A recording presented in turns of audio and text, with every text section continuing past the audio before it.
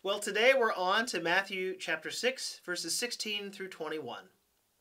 When you fast, do not look somber as the hypocrites do, for they disfigure their faces, they disfigure their faces to show others they are fasting. Truly I tell you, they have received their reward in full.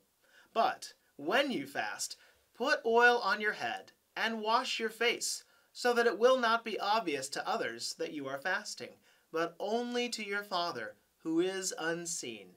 And your Father, who sees what is done in secret, will reward you. Do not store up for yourselves treasures on earth, where moths and vermin destroy, and where thieves break in and steal.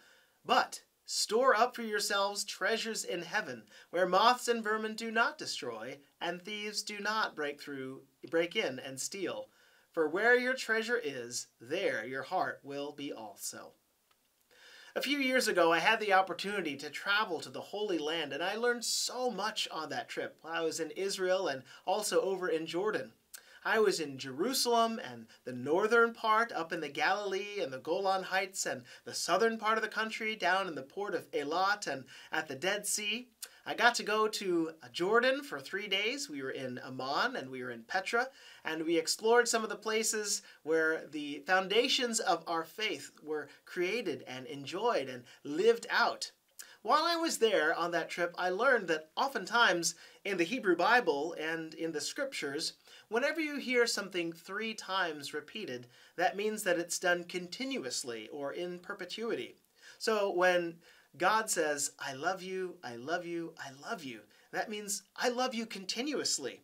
We see this in the example of Peter and Jesus. When Peter has denied Jesus three times and abandoned him in his time of need, Jesus comes back and says, Do you truly love me? He asks this question three times as if to say, Will you keep loving me throughout your entire life? And Peter says, You know all things. You know that I love you. And Jesus tells him those times, Feed my lambs. Feed my sheep, feed my lambs. Well, as we are fed, we can't do the work alone of sharing God's word and goodness with others, but we have to team with other people, with our denomination, with churches that want to share God's good news and God's joy.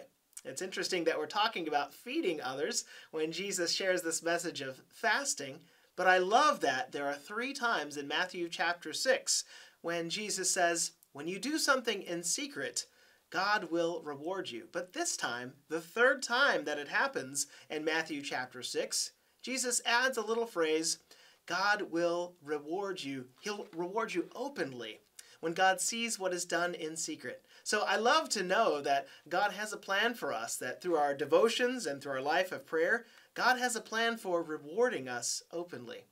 And so part of the reward, as we talked yesterday about Adoniram Judson and him laying down his life in the missions field for others to come to know the gospel, is that today we have an organization, International Ministries, that literally touches life and shares the good news in all kinds of way, sharing the whole gospel for the whole person in most of the countries and many countries of the world. I want to show you a map of the work that IM is doing. That's a map of global servants and their work, and these are missionaries who go forth in 2024 to share the gospel. And if you want to see that map and interact with some of those global servants, you can go to internationalministries.org online and learn more. Well, friends, it's a gift that we can enjoy God's blessings when we decide to fast or abstain from the things that we might enjoy so that others can enjoy a quality of living in Christ that will benefit them and us both for now and in eternity.